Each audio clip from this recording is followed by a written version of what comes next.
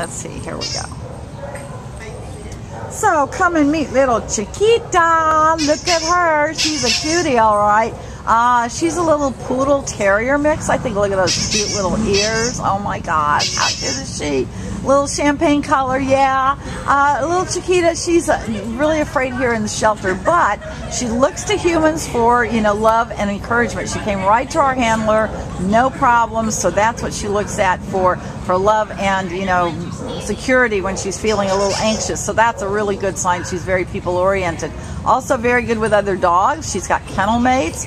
She prefers being carried right now because she is scared. She's shaking a little bit.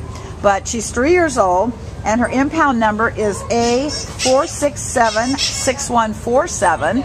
And yeah, she's about three years old, so she's got this wonderful sparkly energy that's just a little bit shut down here.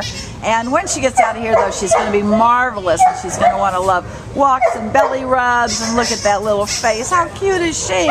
Anyway, she's going to be your best friend and just a wonderful dog to have around to give love to. She's got these gorgeous, gorgeous almond eyes. Look at those eyes. I don't know if you can see them, but oh, they are just beautiful. And she's so, so sweet and affectionate.